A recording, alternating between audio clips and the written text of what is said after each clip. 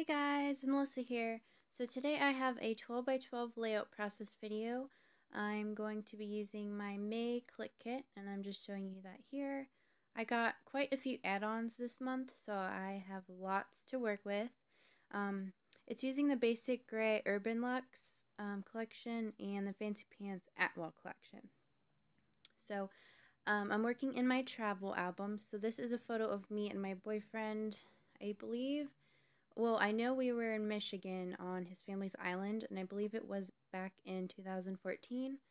Um, so there I was picking up the um, papers I wanted to use, and I am backing my photo on white plain cardstock to make it help pop a little bit more off the um, other papers I'm going to use. So that's what I'm doing here. And then I'm going to trim it with my paper trimmer.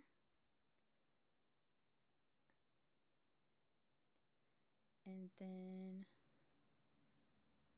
I really love this photo of us. Um, his sister actually took this photo. We were um, standing on a tree. so I really like that photo. Okay, so I'm going to use the gray corrugated paper that came in the May kit. Um, I'm not sure if this kit is still available, but you can um, check if you're interested. I'll leave um, the description, or I'll leave it in the description box below. And I absolutely love that Basic Grey, like floral watercolor leaf paper. I thought that went really well because since we were in a tree and you've got leaves in the background. And then I'm backing it on a Fancy Pants paper um, that's the same color blue. So that's what I did there. And then I'm just using a pale pink um, paper for my stash to um, add and a gray piece of paper. That is actually um, from the Basic Grey paper pad or paper pack. Because I got the add-on of this paper collection because I absolutely love it. So, and then I'm using, I think my favorite paper of all from the Basic Grey line is that like watercolor purple, pink, and blue paper. So I back that there, and then I'm adding a piece from the Atwell collection from Fancy Pants, I believe.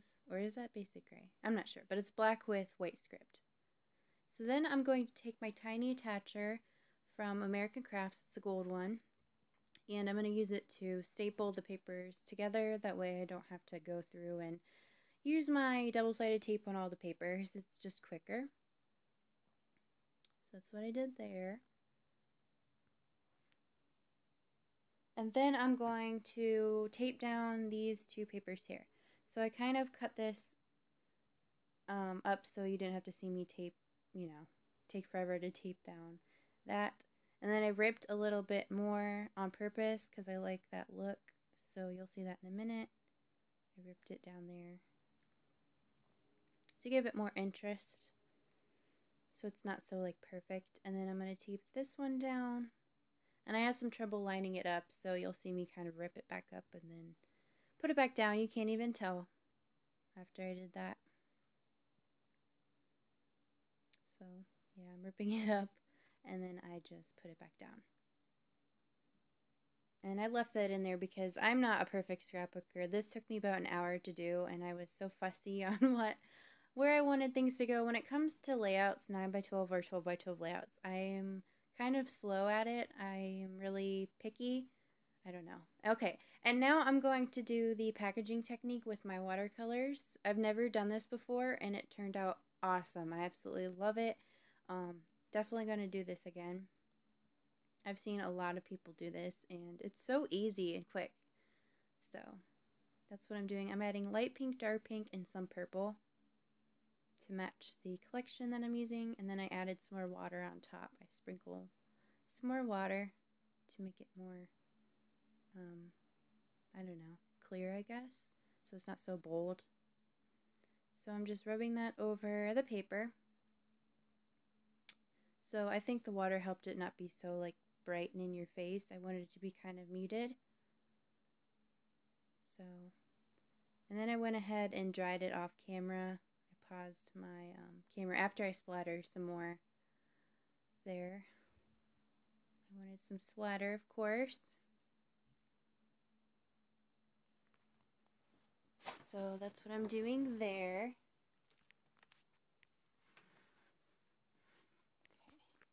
So then I dried it off camera like I said. So it went a little quicker. And I really love the look of that.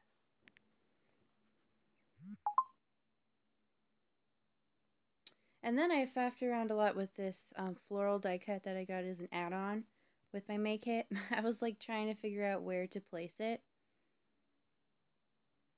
So as you can see, I was like, where do I put this thing? Because I didn't want it to like blend in with the background. I wanted it to pop because since I only had one. So um, I wanted to add some more blue to that side. Same blue. So um, I had cut it up and decided to just to make it look like one piece. So you can't even tell once they're glued down. Um, oh, and then I wanted to add a tag that came in the um, May kit. It wasn't an add-on, it actually came in the kit. You got a full pack of Atwell tags, so I wanted to put that there. And then I used the sticker sheet that came in the kit. Um, I used the little like triangle arrows. So one dark blue and one light blue. And then paper clip. You know me and my paper clips. so I added one to the corner to kind of balance some dark colors over there too, since the majority looked like it was on the left side. And then I believe I, yeah, I figured out that I wanted the floral on the left bottom hand corner, but the white was just blending in way too much. So I decided to watercolor it which it's kind of off camera, but at least you'll be able to see what I was doing. I wanted it to be pink, some light pink areas and dark pink on the floral. So I cut that out because I know you can't see it that much, but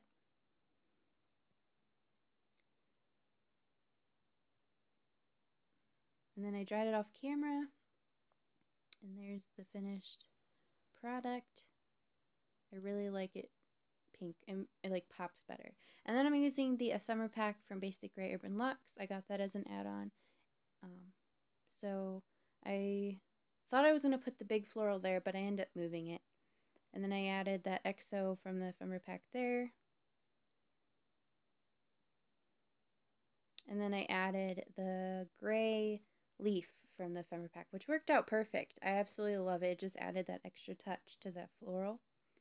And then, yeah, I end up moving that big floral up there. It just looked more balanced up there than with the other floral at the bottom.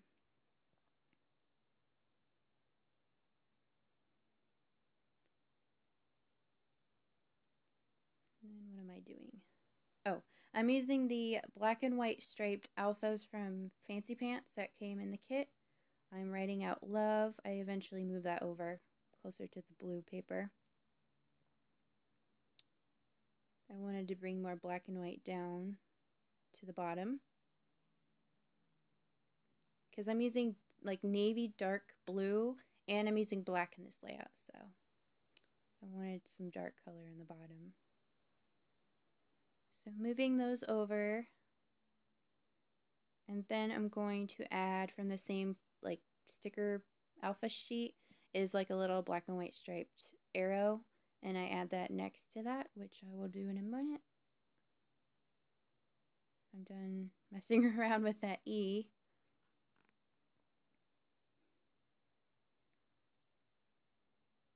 There we go. There's a little arrow. I believe I'm almost done. Oh, okay. I got out my um, Tim Holtz tiny word stickers, which I'm obsessed with these things. I found one I wanted to use and just placed it on the ring, so I d- I didn't forget where it was. Um, I don't remember what these says. The top one there is about something about adventure, and then the bottom one I think says you're the best or something like that. I'm not sure. Um, but it's something love themed. Um, so I taped that down. I taped everything else down. I just um, did that off camera. And then I'm using my Tombow um, liquid glue to um, adhere the floral down.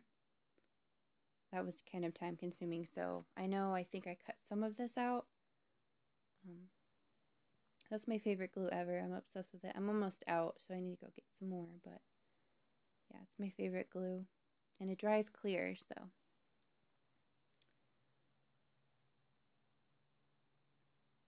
That's what I'm doing now. Just ta- um, taping, just gluing down the floral.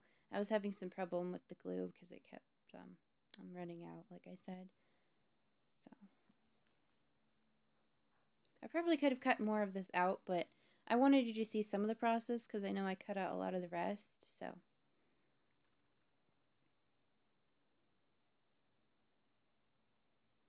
And hopefully you can see this pretty well. I know at the end I zoom in a little bit more so you can see it better and I will upload a photo on my Instagram of this um, so you can see it more in detail if you want to see it on my Instagram. It's the same, um, my name's the same on Instagram as it is my YouTube name, but I'll also link it in the description box below. So I just stapled the XOXO to give it more texture. And then I'm going to be using the stamp set that I collaborated on with Honeybee Stamps that just came out that's photography themed. I drew all the cameras, the Polaroid, the film reel, the hearts. So I'm using the Polaroid stamp that I drew there under the tiny word stickers. And then I believe all I do now is sprinkle some black watercolor to bring in more black. I believe that's the last thing I do here. Oh no, um, I forgot. I added some enamel dots. So I know that there was white enamel dots that came in the kit. I don't know why I didn't use those, but I just had these right, ne right next to me, so I just grabbed those. So I added some white enamel dots to the top right and the bottom left to balance that out. And then I grabbed some of my favorite jewels, or um, what do you call them? I guess jewels from Michaels. They're like pretty pink, sparkly um, gems. That's what they're called, gems. I use those all the time. I mix it with enamel dots, so I wanted to add some pink, so I added those. They're really sparkly. Like I said, I'll have a photo of them on my Instagram so you can see this in better quality and up more up close. So I think I'm done. Oh, I added a tiny little black heart inside of the O of the XO. And then I grab plastic to put behind here so when I splatter the black ink it doesn't get on the floor or my book. So I'm adding more black splatters to finish it off. And I believe that's it. I believe that's all I do to this layout. And I really love how it turned out. I love the corrugated paper. I think that just adds more, some cool texture to the page.